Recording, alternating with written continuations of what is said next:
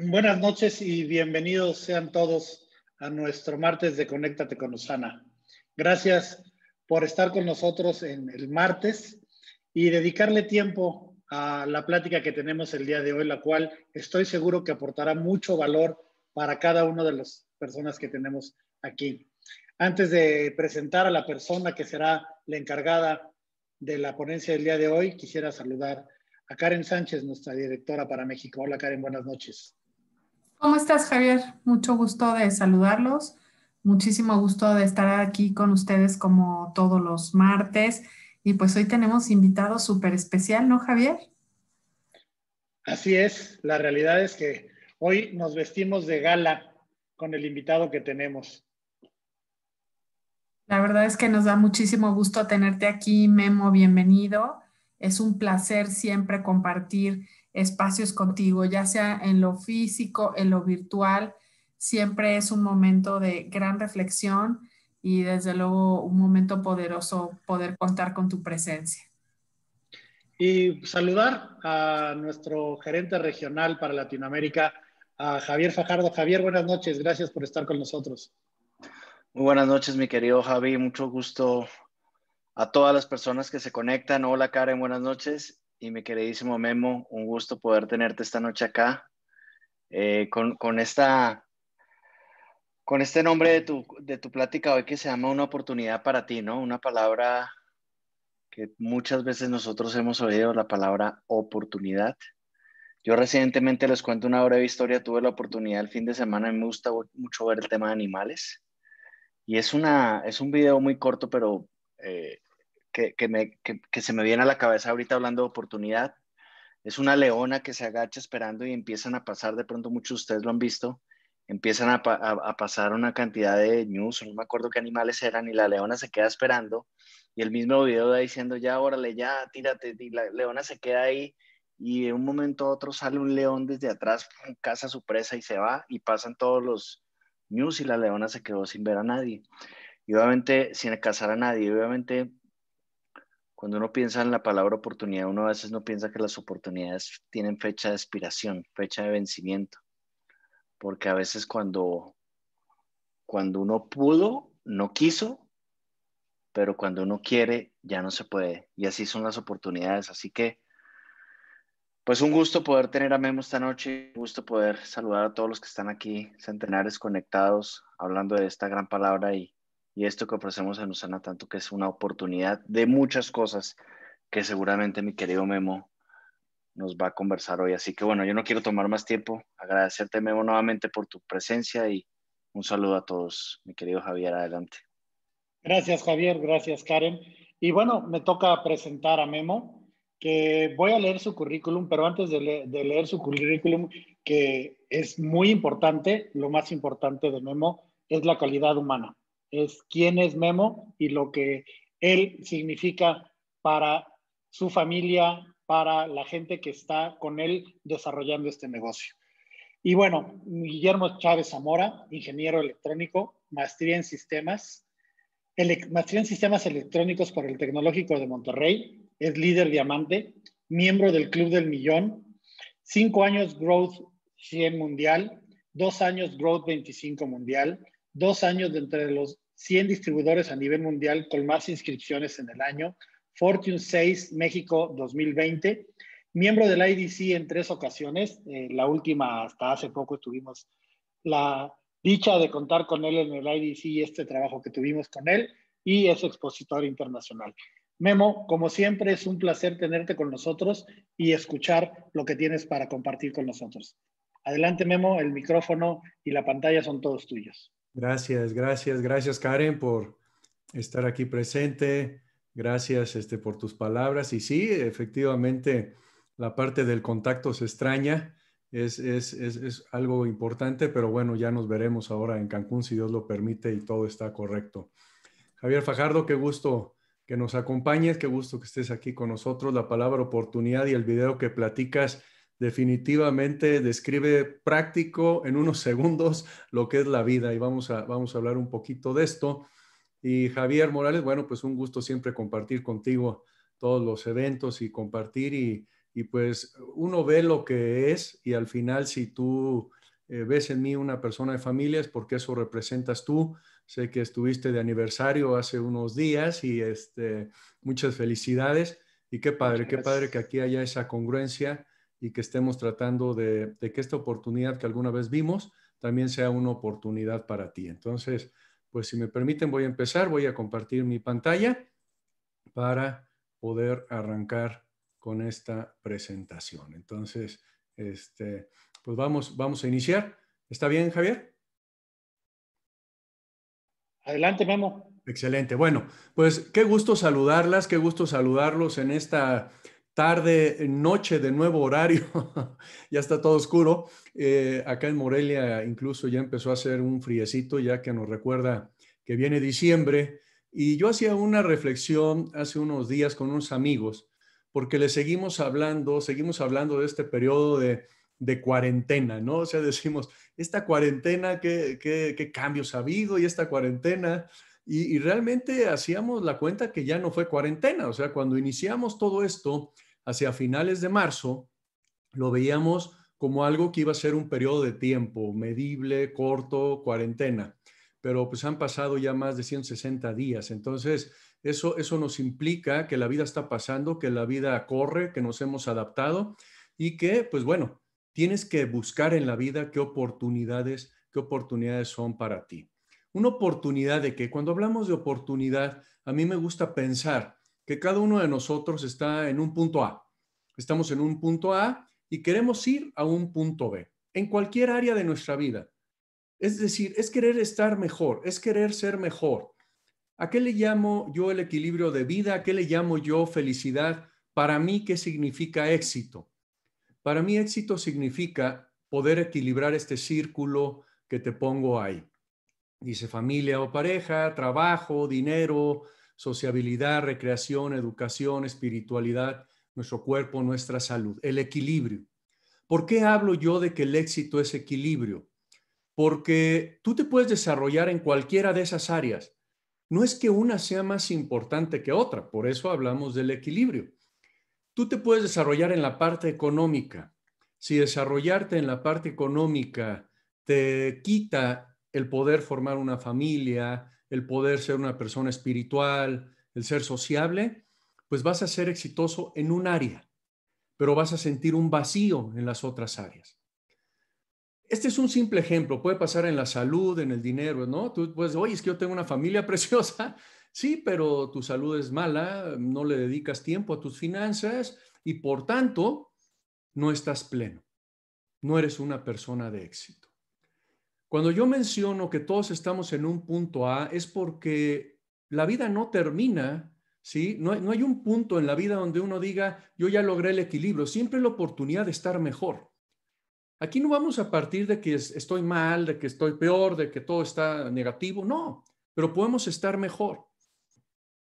Y aspiremos a tener ese punto B. Yo te voy a platicar, fíjate, te voy a os digo, cuando pongo esa gráfica porque pues esta teoría que acabo de decir se oyó muy fácil, tú puedes decir, ya apunté cada uno de este, de este circulito y estoy listo, estoy lista para hacer la ecuación. Pero la ecuación es compleja.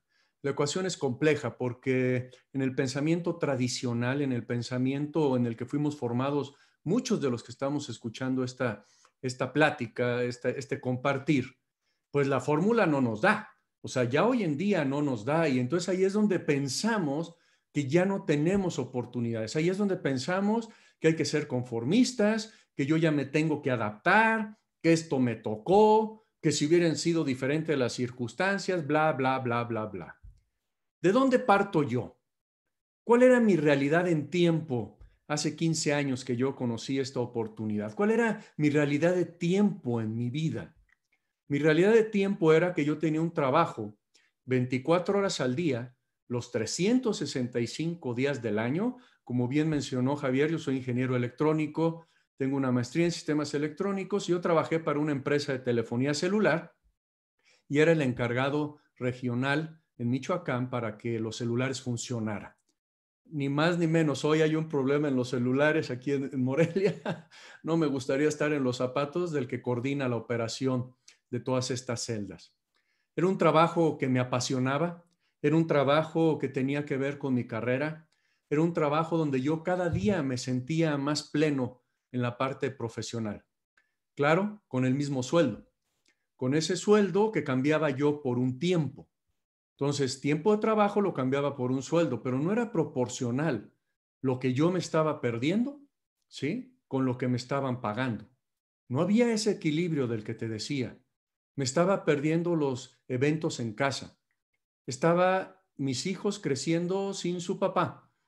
Yo los veía en la mañana que me iba temprano dormidos, llegaba en la noche y los volvía a ver dormidos. Esa foto de abajo a la derecha para mí es muy simbólica porque Ale, mi esposa, trae una cámara. Yo veía el, desarrollo, el crecimiento de mis hijos en una cámara y eso para mí era normal. Era normal, era como me habían formado. Yo estudié una carrera, hice una maestría, estaba en una empresa y ahí iban a ver por mí toda la vida. Estaba siguiendo el patrón. Tenía una familia, una esposa hermosa, tres hijos hermosos. O sea, yo debía de haber sido una persona exitosa, pero ¿por qué me sentía tan frustrado? Porque estaba perdiéndome la oportunidad de convivir con esas personas que tanto quería. Ese tiempo que tenía en casa, y por eso pongo siempre esa fotografía, no era de calidad. Esa foto la pongo porque yo llegué un día a mi casa y mi esposa me dice, oye Memo, nuestro hijo el mayor va a salir en un festival de la primavera. Necesitamos comprarle un traje de conejo. Y mi reacción ante esa eh, noticia tan bonita fue decirle, hoy no entré aquí con un letrero que dice, me aumentaron el sueldo. ¿Sí me entiendes? imagínate, imagínate esa respuesta. Estoy hablándote de que mi familia era lo más importante. Estoy hablándote de que no tenía prácticamente tiempo para verlos. Y cuando estaba, ¿cuál era, cuál era el tiempo que les daba? ¿Qué calidad de tiempo era el que les daba? ¿Cómo era mi carácter? ¿Cómo era mi cara? ¿Cómo era mi humor? ¿Cómo era la neurosis justificada? Esa foto es un día de descanso, es un día domingo. Y, y ve nomás la cara de descanso.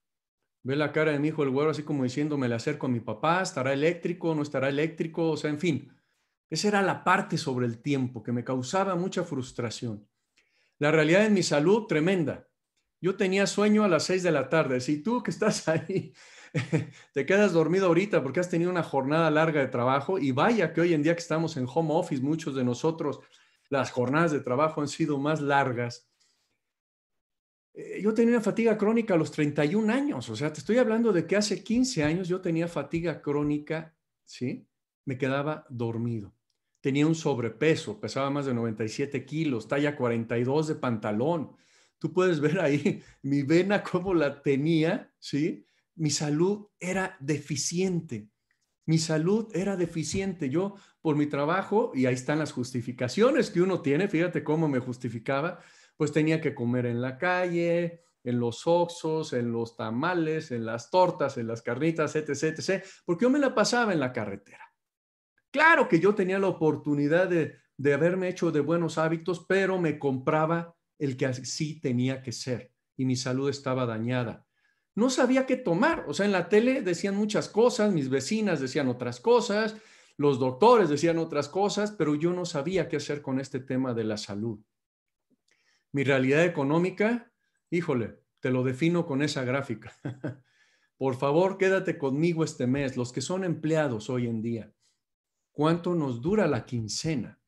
¿Cuánto te dura la quincena? Decía un compadre, dos días y se acabó. Otro decía en lo que llego y se lo doy a la comadre. Tenemos lleno de sobres, teníamos todo con mi esposa. Que si la renta, que si el pago de la tarjeta, que si el pago del carro, las colegiaturas, etcétera, etcétera, etcétera. Tú me entiendes. Tú has sentido esa frustración.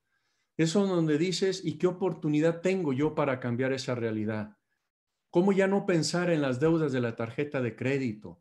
¿Cómo ya no pensar en ese efecto secundario que es que cuando tú tienes problemas económicos, afectas tus relaciones, por más amor que haya, por más amor que haya. Yo me acuerdo que yo escuchaba esa frase de que cuando el dinero falta, el amor sale por la ventana y bueno, yo decía que eso no pasaba, que eso eh, era alguien que no amaba, etcétera, etcétera.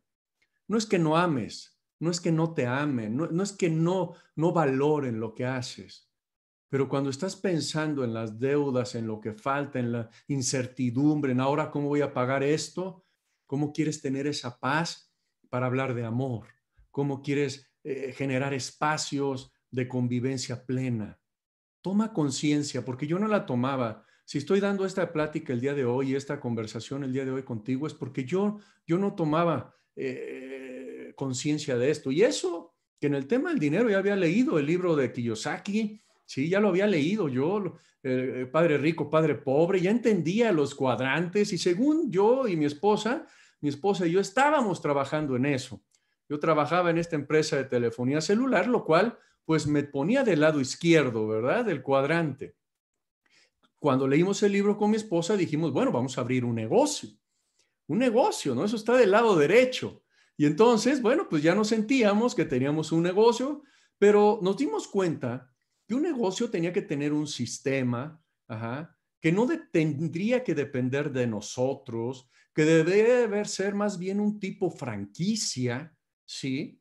Y que realmente lo que nosotros estábamos haciendo era un autoempleo, porque nosotros nos teníamos que levantar temprano, acostar tarde, eh, hacer la de psicólogo de los empleados, empezaba toda esta cuestión del SAT, etcétera, etcétera, etcétera.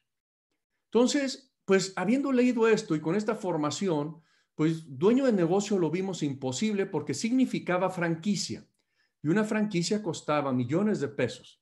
Un millón, una que valiera la pena. En aquel tiempo, estoy hablando hace 15 años, 16 años. Entonces, ahí es donde decido hacerme inversionista. Fue más fácil inversionista porque fui al banco, les pedí un crédito este, hipotecario para construir una casa, me prestó el banco, claro que sí, y este, entonces yo construí esa casa. Entonces, bueno, pues ya estaba en el punto del inversionista. El tema es que cuando tú eres inversionista con dinero prestado y no tienes conocimiento, mi casa no se vendía porque yo no la hice de acuerdo al costo de la zona. Entonces, había casas menos bonitas, pero que ajustaban al costo de la zona y eran las que la gente podía pagar. Por tanto, falló ese negocio. Si mi hermano que está en la mitad de esa fotografía no compra la casa, yo no sé qué hubiera pasado. Yo ya empezaba a pagar 10 mil pesos de aquel tiempo en intereses mensuales. ¿A dónde iba a ir yo? Es la formación tradicional. Es donde estaban mis finanzas y mi economía. lo que voy es a que no es que odiara mi trabajo, no es que no fuéramos emprendedores, no estábamos sentados en un sillón esperando la vida. Pero al final del día sí había un conformismo. Sí había un conformismo en el sentido de decir, he intentado todas estas cosas, ¿qué más queda por hacer? ¿Tú qué has hecho? ¿A ti qué te ha pasado? ¿Cuáles son tus vivencias? Analízalas en este momento. ¿Qué encontré yo en esta oportunidad para mejorar mi salud? Pues lo primero, unos productos donde había micronutrición, donde había macronutrición, donde había cuidado de la piel. Pero también encontré que no eran unos productos más, eran unos productos que habían sido fundados por un científico, alguien que había tenido laboratorios donde hacía aquí de diagnóstico para los hospitales. ¡Qué importancia! No era algo de moda, porque hoy, hoy parece algo de moda. Este, eh, como empresario le compro una fórmula eh, a alguien y, eh, y pongo una empresa. O peor aún, me robo una fórmula y pongo una empresa. O sea, ya no sabemos qué pasa. Es bien importante, para mí fue muy importante ver estos avales. Libro médico, ¿sí? La FDA, Federación Mexicana de Medicina del Deporte recomendándolos. Garantía de un millón de dólares para el atleta que saliera positivo en un examen antidoping. Más de 3.000 atletas a nivel mundial patrocinados por Usana, no dándoles dinero, sino dándoles el producto para que ellos vean la calidad.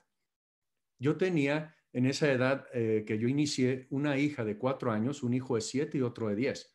Y a ellos les iba a dar también el producto. Yo tenía que estar seguro de estos avales. También tuve la oportunidad de aprender por qué se necesita la nutrición óptima. Mi mamá, cuando yo empecé este proyecto, tenía unos años de haber fallecido de cáncer. Cuando mi mami falleció de cáncer, ya para 20 años, yo pensé que había sido cuestión de suerte, que ya le tocaba, que, era algo que tenía que suceder.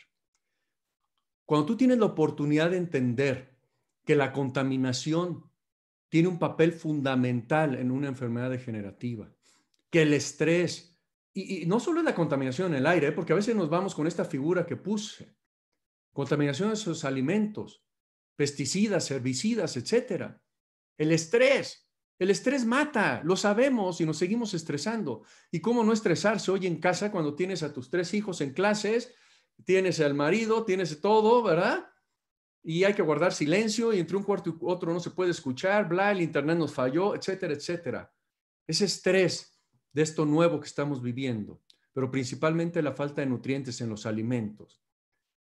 De repente empezaron a salir estos alimentos orgánicos que se supone que vienen a compensar, que no necesariamente es que tengan la nutrición ideal, a lo mejor tienen la pureza, pero ¿a qué costo los están vendiendo hoy en día? ¿Y cómo realmente tienes la certeza de que sí sean lo que te están ofreciendo? Eso encontré yo en mi salud poder tener una vida más saludable. Yo no te lo definiría, esa fotografía que ves ahí, yo no la definiría como bajó de peso. Yo diría tomó un estilo de vida diferente, un estilo de vida saludable.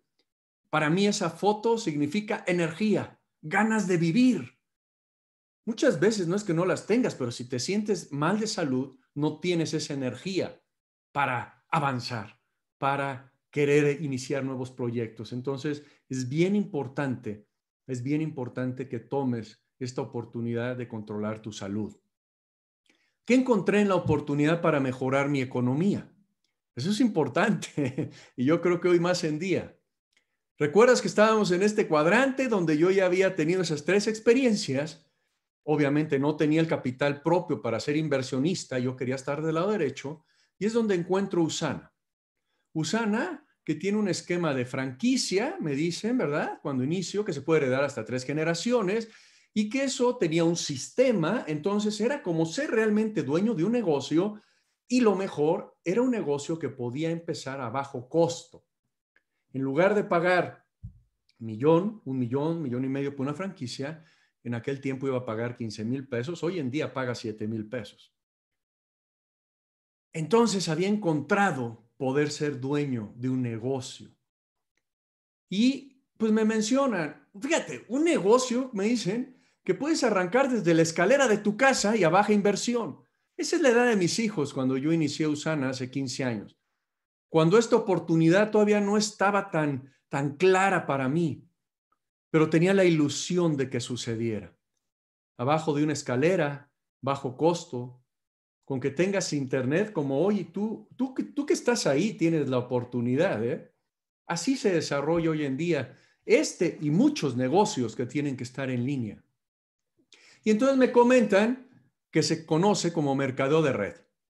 Y ahí es donde pongo yo esa cara. Y estoy seguro que si es la primera vez que tú escuchas este término mercado de red, por primera vez tienes esa cara. Claro, oye, y más si tienes el ego grande.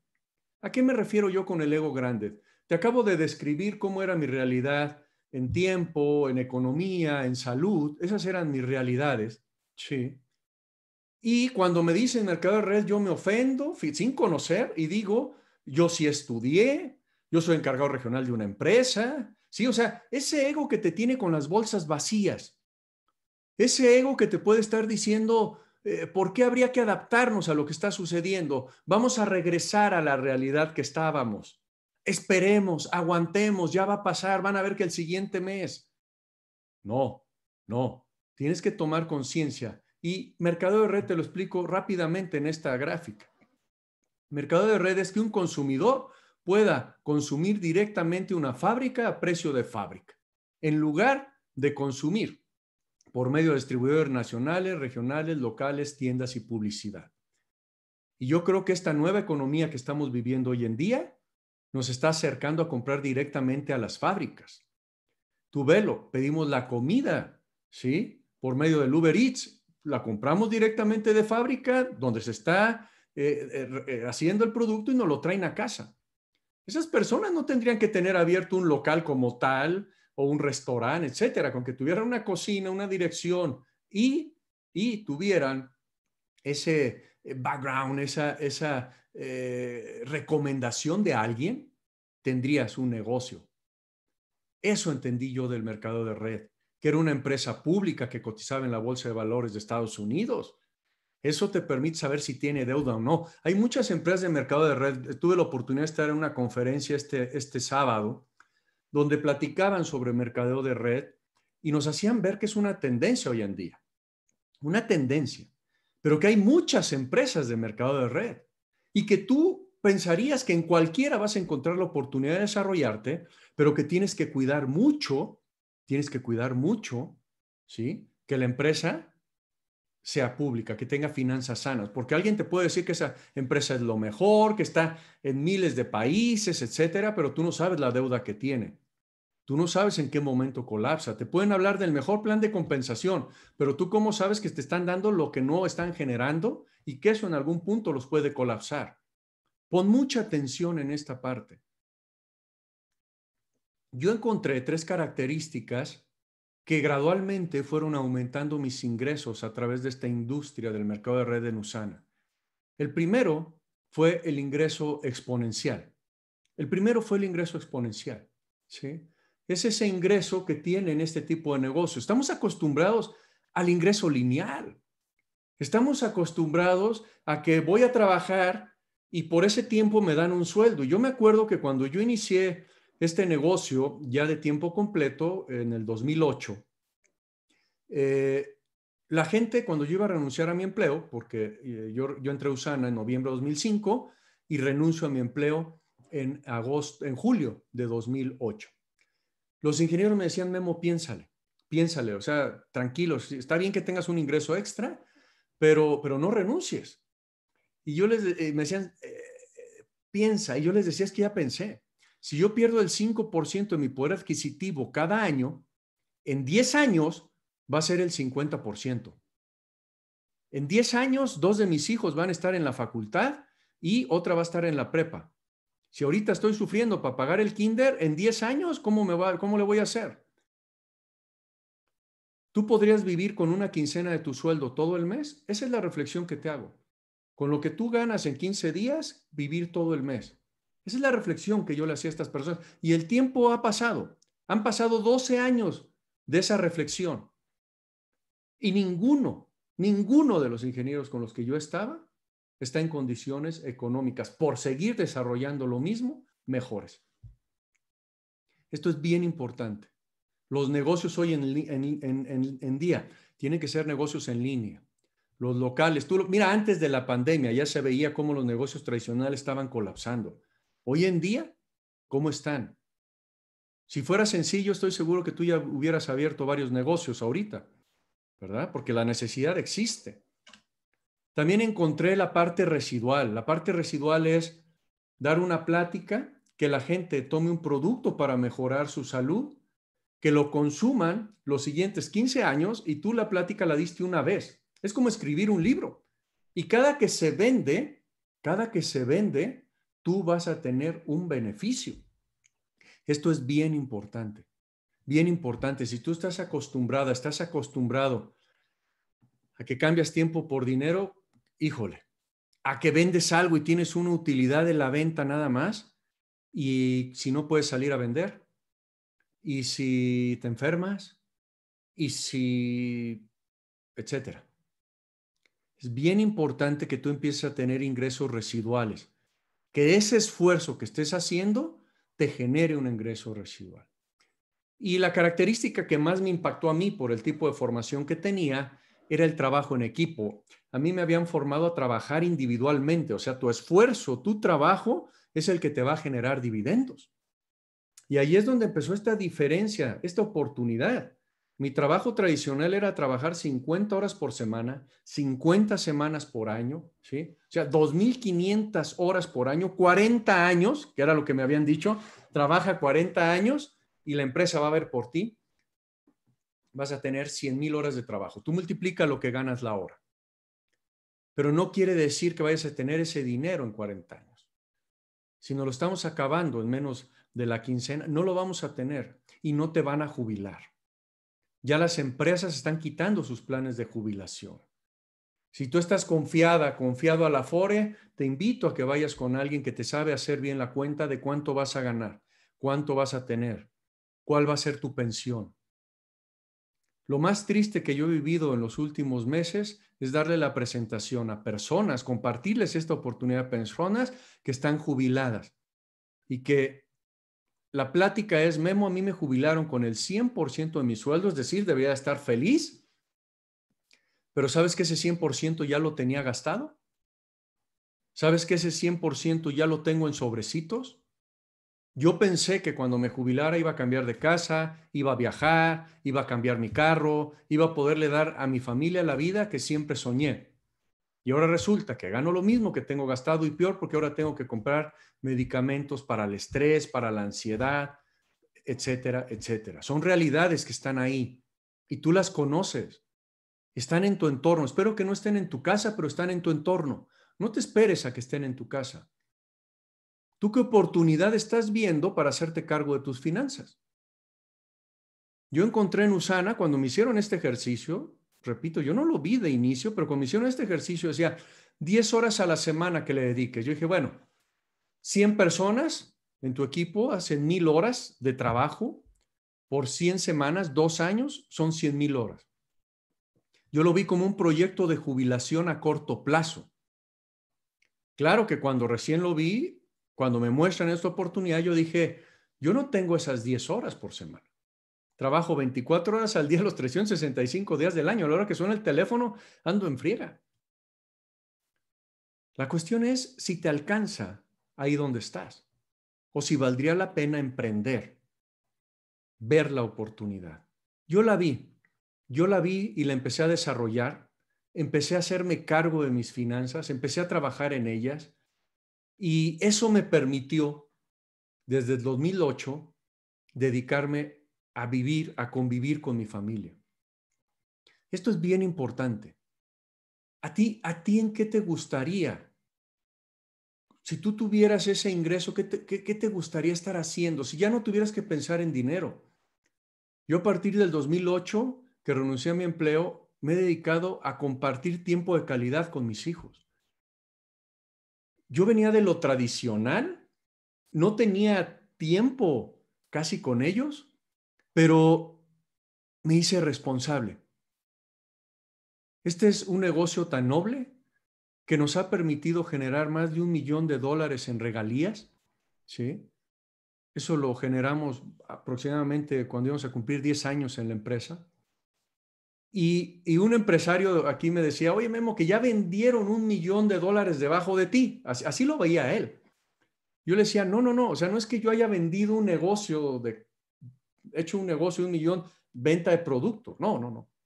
Es lo que se consumió debajo de mí y a mí me dieron las regalías de ese dinero. Se vendió mucho más de eso. Se consumió mucho más de eso. Pero ¿sabes qué es generar un millón de dólares aquí? es compartir la oportunidad, es crecer, es vencerte a ti mismo, es dar lo mejor que tengas en la vida. Y se te va a premiar por eso. Pero tienes que tomar la iniciativa. Aquí, ver esta oportunidad me regresó esa capacidad de soñar.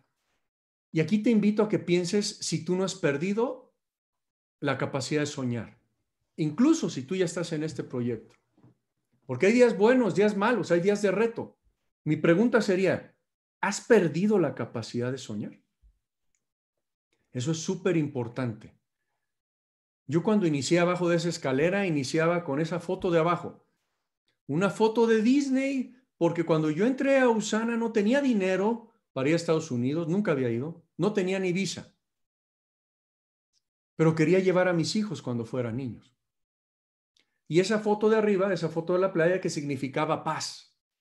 Yo te pregunto, para ti hoy en día, ¿cuáles serían esas imágenes que te darían paz? ¿Cuáles serían esas imágenes que te ilusionarían, que te, que te harían querer emprender, vencer el miedo?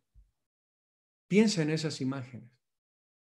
Yo tuve la fortuna, ¿sí? Porque no lo planeé, de poner esa imagen de Disney y tener una hija de cuatro años que pasaba por abajo de esa foto y me decía, papá, tú me vas a llevar a Disney. y yo le decía, eh, sí. Y por dentro decía, ¿en qué momento se me ocurrió pegar esa foto? ¿Por qué hice caso de pensar en grande. ¿Por qué hice caso de pensar que esta oportunidad era para mí? Me dio mucho miedo. Y yo sé que hoy en día el miedo paraliza y sé que muchos de nosotros estamos viviendo en miedo de salud, en miedo de nuestra economía, en miedo de qué va a pasar. Pero sabes qué? Hay dos formas de ver el miedo. La primera forma de ver el miedo es cuando te paraliza. Cuando el miedo te paraliza, entonces aguas, aguas. Y otra, forma, otra es cuando el miedo te impulsa. Cuando el miedo te impulsa, cuando te haces amigo del miedo, cuando dices, sé que estás ahí, pero es para que me impulses. ¿Tienes miedo a tu salud? Mejora tu sistema inmunológico. Comparte con tus seres queridos que mejoren su sistema inmunológico. Eso lo saca de la estadística. No es que no te vaya a dar. Oye, Memo, ya te vas a aventar ahorita la que cura. No, no, no, no, no. Estamos hablando de sistemas inmunológicos fuertes. Lo quieras ver o no, va a subsistir. nos está quedando claro hoy en día que el sistema inmunológico fuerte es el que va a crecer, el que se va a desarrollar, el que va a estar aquí. Apuéstale a eso. Apuéstale a perder el miedo. El miedo paraliza. ¿Qué haces cuando tienes tiempo? Cosas que valen la pena. ¿Qué hago ahora con mi tiempo? Cosas que valen la pena. Yo te preguntaría a ti, vamos a hacer este ejercicio rápido. Piensa, piensa, ¿sí? Olvídate por un minuto que esto no es realidad. Que los siguientes dos que te dijeran, ahorita llegas a tu empleo y te dicen, noviembre y diciembre te lo vamos a pagar al doble, has sido un empleado excelente, has vencido los retos, has llevado a la empresa al siguiente nivel. Noviembre y diciembre te lo vamos a pagar doble, no tienes que venir a trabajar o no tienes que hacer home office, por favor, dedícate a hacer cosas que valgan la pena. ¿Cuáles harías? Porque esto va a pasar, va a pasar en el sentido de que nos vamos a adaptar. Y va a llegar un punto donde vamos a poder volver a viajar de una forma normal, natural, con lo que venga. Pero va a pasar. Hay gente que está viajando y que, y que lo hace con las medidas correspondientes y que están disfrutando sus viajes. Yo espero que no seas tú de los que está ahí en casa viendo viajar a los demás prudentemente, me estoy refiriendo, obviamente, y que tú estés diciendo, ah, qué irresponsables esos que están viajando. Pero, pero realmente dices eso porque tú no tienes para viajar, porque tú no tienes para salir, porque tú no tienes para ir a rentar un lugar en la montaña, alejado de la civilización, donde incluso podrías pasar mejor calidad de tiempo que ahí con los riesgos que tienes en tu casa, en tu entorno, al recibir comida, bla, bla, bla, bla, bla. Espero, espero esté yendo al punto que quiero ir. ¿eh?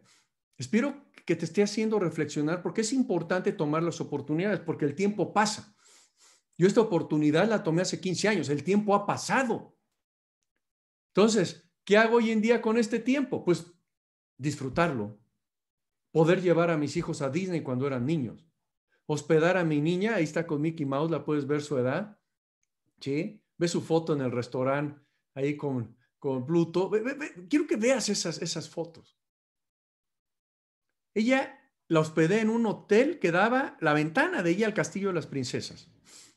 ¿Tú te imaginas la cara de esa niña viendo el castillo de las princesas al dormir. Para mí, de los mejores cheques que me ha dado Usana. Ah, caray. Ah, caray. Entonces la vida no se, no se mide solamente en dinero, ¿verdad? O solamente, no, es el equilibrio que hablábamos. ¿Sabes que yo pude haber trabajado 30 años, a lo mejor estar llevando ahora a mis hijos a Disney con 19, 23, 26 años? ¿Tú crees que sería lo mismo? ¿Tú crees que esa princesa quisiera ir con su príncipe azul o ya iría con otro príncipe azul? El tiempo pasa, las oportunidades pasan. Nos lo decía Javier Fajardo. Hay gente que nada más las está viendo y no las toma. He dedicado mi tiempo a cambiar esa cara. Qué tristeza ver fotos así. Qué tristeza. Te invito a que tengas fotos así, de plenitud, de alegría, de satisfacción, de que has crecido, de que, de que te has eh, esforzado por ser mejor, que puedas tener esa sonrisa plena. Yo era una persona introvertida, era una persona que me costaba muchísimo la convivencia.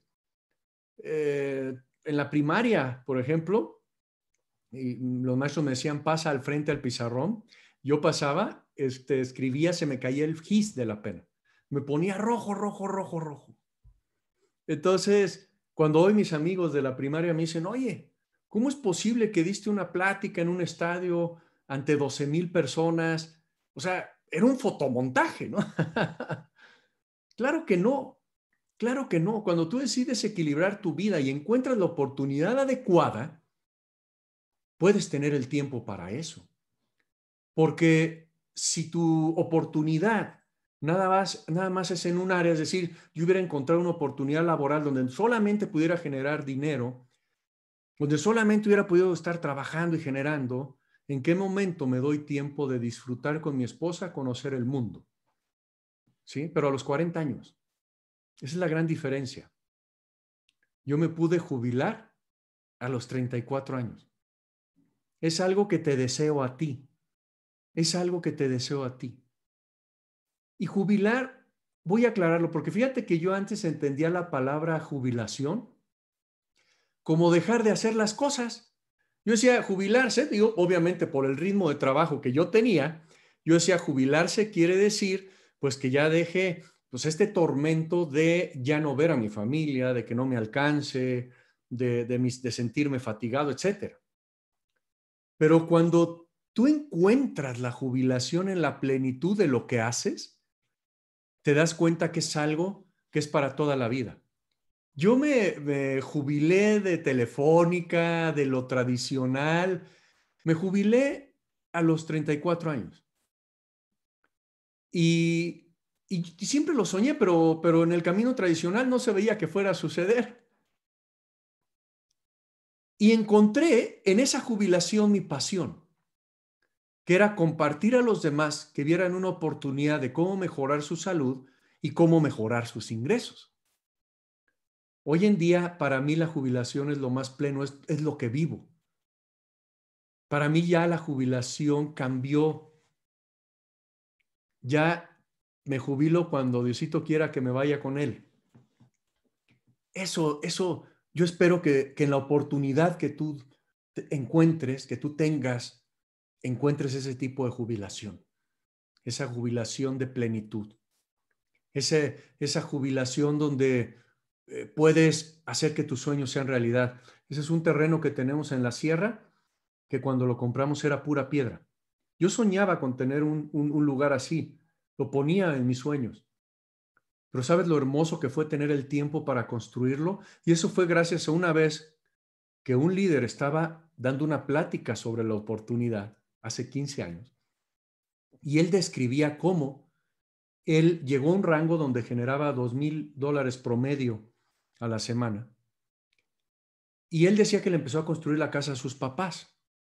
Pero platicaba que lo más importante no era eso, que lo más importante para él era que pudo, durante dos años que duró la construcción, pasar todos los días por ellos para ir a ver cómo iba la obra. ¿Tú te imaginas eso? Gente que trabaja toda su vida para poder comprar un lugar así y cuando ya lo compran, ya no tienen la salud, ya no tienen la familia, ya no tienen el tiempo, el humor para estar ahí. El tema es ir equilibrando. Y no importa cuánto tarde el sueño. Mira, esa foto me gusta porque hace 15 años puse una foto en el sueñógrafo para llevar a mis hijos a la nieve, que conocieran la nieve. Yo quería ir a la nieve, era un sueño. Así como Disney para los niños, para mí era este. Y, y pues pasaba el tiempo, ya habíamos ganado el Million Dollar Club y este, éramos diamantes y todavía no se concretaba ese sueño.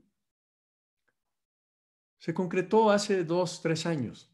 Cuando se concretó fue el momento perfecto, lo disfrutamos como nunca, fue un viaje de una unidad familiar hermosa. Te pido, te pido que te des la oportunidad de que tus sueños no caduquen, de que no venzan tus sueños, de que no venza eso que tú quieres lograr. Yo solamente te comparto fotografías mías pero quiero que las hagas tuyas y me encantaría que, que te visualices, que creas, que aunque todo lo veas oscuro como yo lo veía, incluso estaba acostumbrado a eso, te des esa oportunidad de pensar que tus mañanas pueden ser diferentes. Yo me perdí la graduación de tercero de kinder de mi hija. Me la perdí por ir a trabajar. Y recuerdo su cara perfectamente. La recuerdo ahorita y, se me viene el sentimiento. Pero poder haber estado ahí con ella, viviendo esa primera experiencia en la nieve, y no es lo que cuesta, ¿eh? Si tú estás aquí viendo ahorita, es que eso cuánto costaría, es que qué material, te estás perdiendo la enseñanza. La enseñanza es la oportunidad de disfrutar la vida en lo que a ti te guste, en lo que tú quieras. Pero no me digas que tú no lo harías si tuvieras una hija de esa edad y tuvieras el dinero para hacerlo. A menos que tuvieras la hija de esa edad, tuvieras el dinero y decidieras no hacerlo. Esa es la gran diferencia. Desde novios yo le decía a mi esposa que íbamos a viajar por todo el mundo, que íbamos a rentar un carro y que íbamos a ir ahí viajando. Ese viaje fue muy significativo por varias cosas. La primera, pude conocer el estadio del Real Madrid, que era un sueño que yo tenía desde niño. Yo era de los que iba al estadio cada 15 días. Y, cuando entré a este proyecto, cuando veo la oportunidad ya de desarrollarlo como un proyecto serio, pues dejé de ir al fútbol. Pues sabía que pues, si trabajaba siempre, pues los espacios que tenía de esparcimiento, había que dedicarle un tiempo a este negocio. Hay que sacrificar cosas, claro. Y mis amigos me decían, ah, pa negocito te encontraste, Memo. Y yo le decía, es que saben que yo un día voy a estar paseando por el mundo, conociendo los estadios del mundo, viendo los partidos en vivo. Qué experiencia. Esa foto me recuerda que vale la pena cualquier sacrificio que tengas que hacer. Cualquier cosa que te tengas que vencer. Yo te dije que era introvertido. Ahora imagínate cuando me doy cuenta que aquí había que dar una presentación. Imagínate cuando me dicen ahora van a ser en línea. Esto yo lo vi hace años. Todo, todo es vencerte. Vencerte genera cierto temor. Poder, yo era de los de para viajar, tenía que tener todo con una agencia de viajes y, y súper calculado, ¿me entiendes? O sea, saber hasta cuánto costaban las quesadillas porque era lo que me alcanzaba. ¿Sabes lo maravilloso que fue hacer este viaje sin pensar en el dinero? sin pensar en reservaciones. O sea, íbamos con la aplicación viendo dónde nos quedábamos, qué restaurante era el adecuado, por dónde nos íbamos a ir. O sea, fue un viaje de ensueño. Esos viajes de libertad, esos viajes de plenitud que yo deseo que tengas muchos en la vida.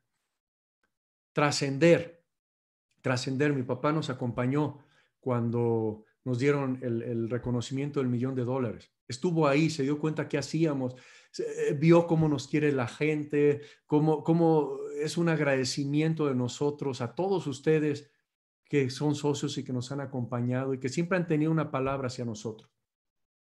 Quiero que ahorita pienses en esa persona que siempre te ha puesto el hombro, que siempre te ha apoyado, que siempre está ahí cuando ocupas algo.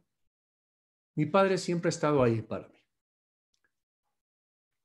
Y yo quería que él sintiera paz, tranquilidad de ver en lo que te has convertido, de ver en que Él puede soltar el aire, en el que Él puede confiar en que hay alguien ya que se va a hacer responsable.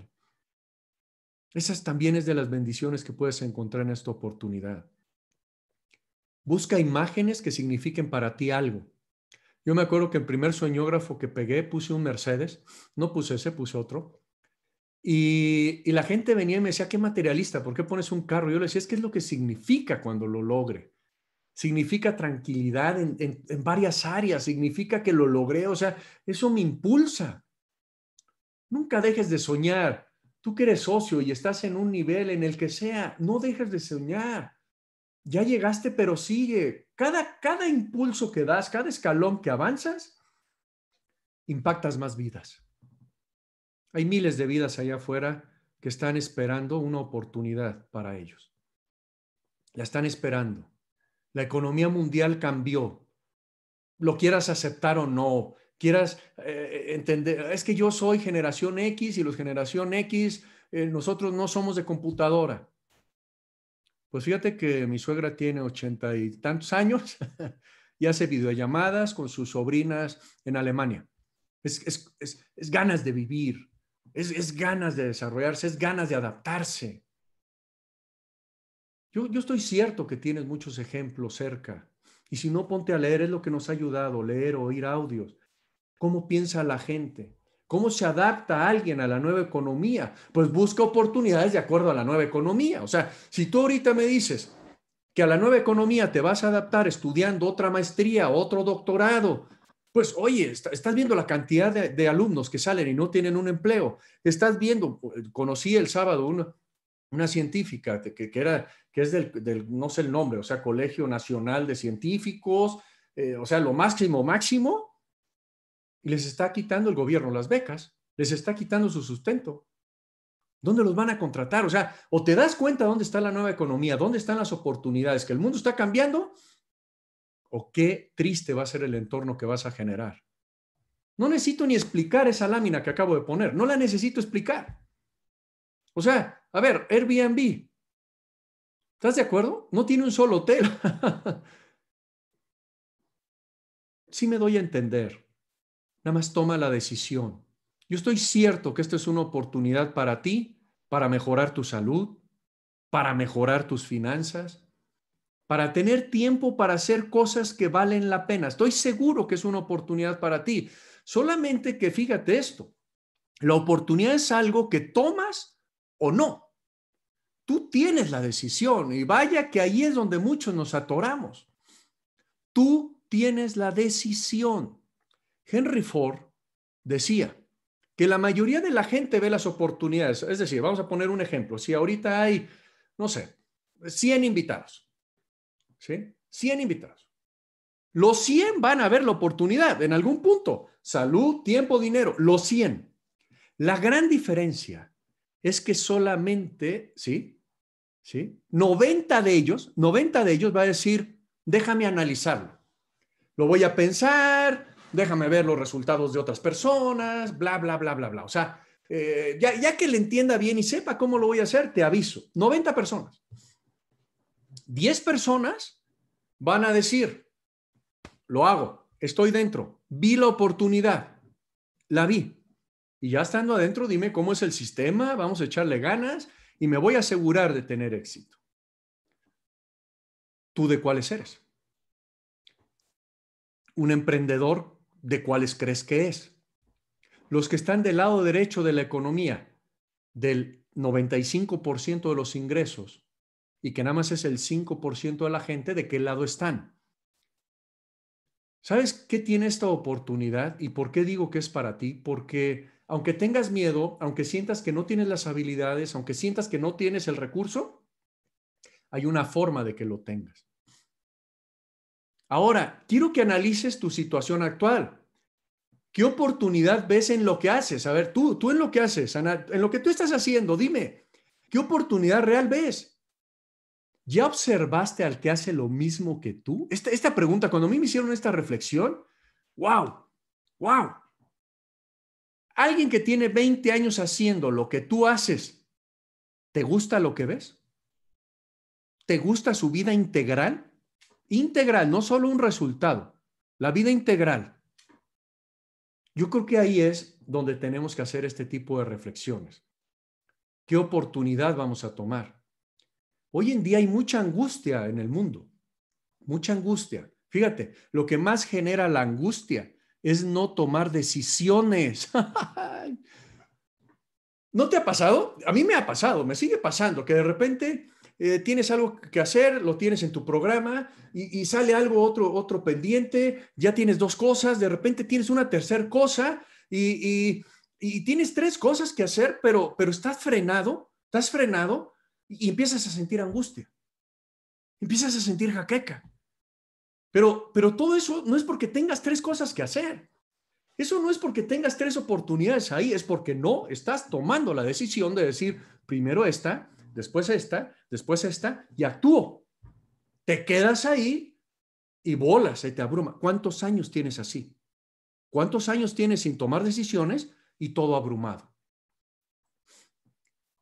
Fíjate que, cómo completo el título de hoy. Estoy terminando con esta lámina y una foto más. ¿Cómo completo el título de hoy? Una oportunidad para ti que depende de ti. ¡Ja! ¡Qué maravilla! Qué maravilla, porque imagínate que yo te estuviera hablando de una oportunidad para ti que depende de otras personas. Que entonces tú tuvieras que ir a convencer, oye, es que si no, yo no lo voy a lograr, etcétera. No, Esto es una oportunidad para ti que depende de ti. Y hay muchas personas teniendo éxito en esta oportunidad. Termino con esta fotografía que quiero que te aliente a que se, se vale soñar en la vida equilibrada, que te aliente a nunca dejar de soñar. Yo me casé a los 19 años. Cuando yo me casé, eh, obviamente, pues me hubiera gustado darle la boda de sus sueños a mi esposa. Una gran mujer, una mujer que me ha impulsado a ser lo que soy el día de hoy. Y esa gran mujer se merecía lo mejor desde el primer día, pero económicamente yo no se lo podía dar. Y, sé que ella tenía muchas ganas de esa, de esa boda, pero se adaptó a lo que había, se adaptó. Y durante años yo decía, para los cinco años sí lo voy a lograr, para los diez años de casado lo voy a lograr. El anillo de compromiso se lo di cuando cumplimos diez años de casado. Cuando nos casamos a los 19 años, yo le di uno de pan bimbo, ¿sí? Ese fue mi anillo de compromiso. Y ella me dijo, mira, voy a ponerme este que me dieron mis padrinos de 15 años y después me lo cambias. Hasta los 10 años lo pude hacer, precisamente en un viaje a Cancún. Ahí se lo entregué. Pasaron los años, 15 años, 20 años, hasta los 25 años de casados, pude hacerle la boda de sus sueños. Era la mujer más radiante, la mujer más plena, se hizo un entorno tan hermoso tan lleno de magia, que te das cuenta también por qué es tan importante la fe. Porque Dios tiene para ti en el momento que tú decidas tomar la oportunidad los mejores frutos, pero no son de un día para otro. O sea, ahí es donde la gente no entiende porque no acrecenta su fe. Porque la fe es ver lo que no ves. Entonces, si yo visualizaba esta boda yo visualizaba cómo iba a ser, cómo lo íbamos a disfrutar, cómo iba a ser feliz, todo, pero no había que llegara. Por pura fe seguía creyendo, pero claro, seguía viendo oportunidades, seguía accionando. Entonces, te invito, te invito a que acciones. Te invito a que, híjole, hagas una diferencia en tu vida y en la vida, en la vida de los demás. Te invito a que esta oportunidad que al principio yo no la entendía, que al principio yo no eh, alcanzaba a verle el potencial, pero tenía algo cierto.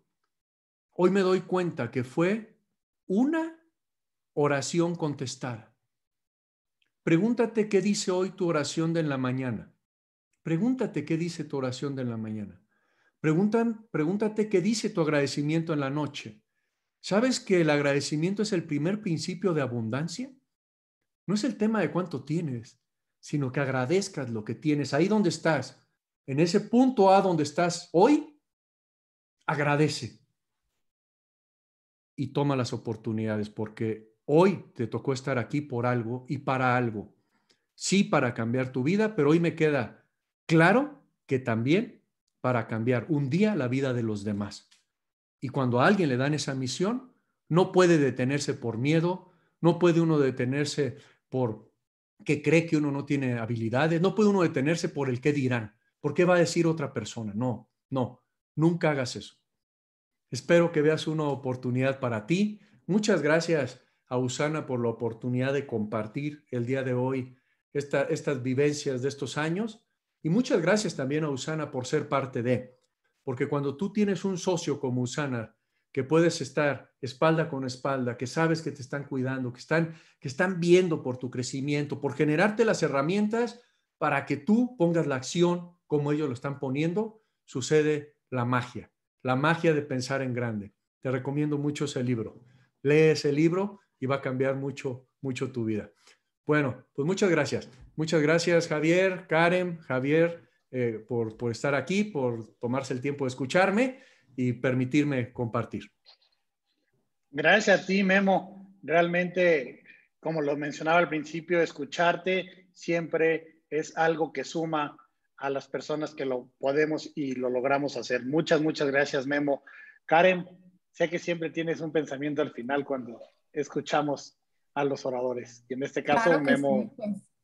Pues es, es, es, como el momento de, de, poner las ideas, para mí, ¿no? las ideas en orden de, de, todo lo que uno escucha. Y Memo, muchas gracias por compartir. Yo siento que nos tomaste de la mano, nos llevaste al interior de tu casa, nos enseñaste a tus hijos, nos hablaste de tu historia, ¿no? Pasaste de lo, de lo tortuoso eh, a lo pleno, ¿no? Utilizaste muchas veces la palabra plenitud, la palabra paz y sé que desde ahí, pues hoy nos has compartido y nos has hablado. Y, pues esa oportunidad integral de mejora que todos tenemos, ¿no? Hablaste en principio de la salud, pero después te fuiste a la parte de la economía y después hablaste, ¿no? Un poco de, de la espiritualidad. Yo creo que ese es el camino que todos queremos llevar, ¿no? Como, cómo llevar nuestra vida de una manera integral para ser plenos en todos los ámbitos en los cuales nosotros nos desarrollamos. Así es que Muchísimas gracias por estas palabras, desde luego inspiradoras para nosotros y para todas las personas que hoy nos escuchan. Nuevamente, gracias por estar aquí. Muchas gracias, Memo. Nos vamos a despedir. Javier, eh, nos despedimos de la gente. Buenas noches a todos. Gracias, Memo. La próxima semana tenemos tema de Diego Arenas, eh, tema de médicos, el cual eh, lo compartirá con los distribuidores. Nos vemos a las 7 en Conéctate con Usana con el doctor Diego Arenas. Muchas gracias a todos y muy buenas noches. Gracias nuevamente Memo, gracias Karen, gracias Javier Fajardo, gracias Jaycee, que siempre estás atrás de nosotros. Gracias a todos. Gracias. Buenas noches. Buenas noches. Buenas noches.